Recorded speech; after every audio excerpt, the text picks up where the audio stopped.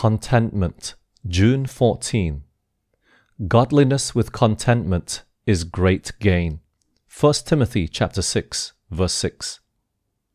Too many cares and burdens are brought into our families, and too little of natural simplicity and peace and happiness is cherished.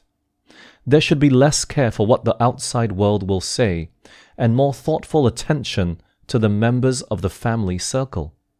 There should be less display and affection of worldly politeness and much more tenderness and love, cheerfulness and Christian courtesy among the members of the household.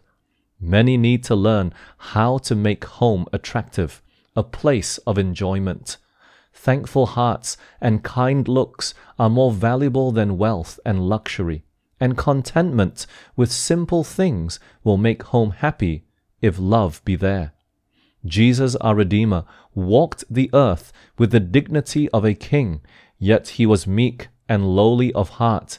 He was a light and blessing in every home because he carried cheerfulness, hope, and courage with him.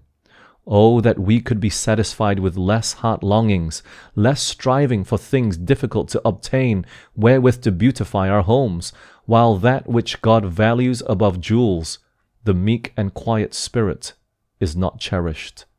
The grace of simplicity, meekness, and true affection would make a paradise of the humblest home.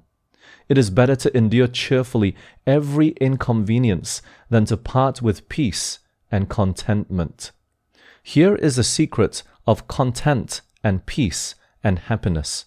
The true Christian seeks to live a life of usefulness and conform his habits to the example of Jesus. Such a one will find the truest happiness, the reward of well doing. Such a one will be lifted above the slavery of an artificial life into the freedom and grace of Christ like simplicity.